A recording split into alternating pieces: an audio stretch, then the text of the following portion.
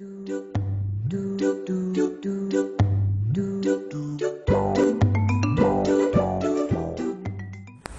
guys, welcome back to the Grow Operation. Thanks for joining me today. What I'm going to take you through is how to spot an iron deficiency and uh, what you do to fix it. So let's get into it. So what you've got here is a Chinese broccoli plant. Uh, I've started this about three weeks ago and it's just starting to show signs of uh, iron deficiencies. Now I've started a new system and uh, I've uh, uh, usually you come across iron as your first uh, first deficient nutrient and so I thought this would be a great time to show you what it looks like. So if you can see the leaves on the new growth is sort of starting to yellow and growth has essentially stopped. This is typical iron deficiency.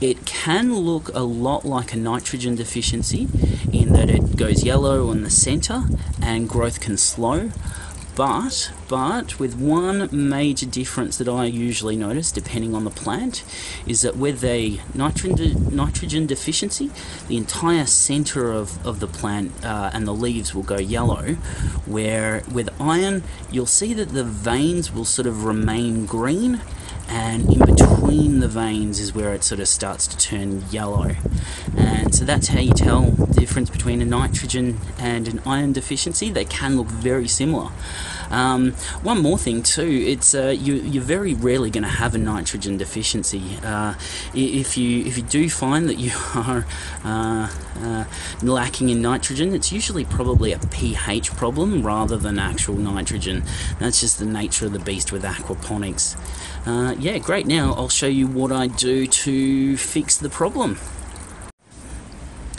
So this is the iron that I use when I'm fixing the deficiencies that I've got. Uh, now the important thing to take uh, notice of is the EDTA. That I'm not sure exactly what it means, but uh, what it means for us in this uh, circumstance is that it's soluble in water and it's easily taken up by the plants. Now to fix the problem you saw, what I'm going to do is uh, my tank in that aquaponics unit is 50 litres and I'm going to put about a quarter of a mil in there. Um, so not much. Then I'm going to wait for about uh, a week to see if there's any signs of it uh, correcting and then I may add some more. But don't add in heaps and then then expect it to happen straight away because it does take a little bit of time. So don't rush in and give it that amount every day or anything like that because that'll be way too much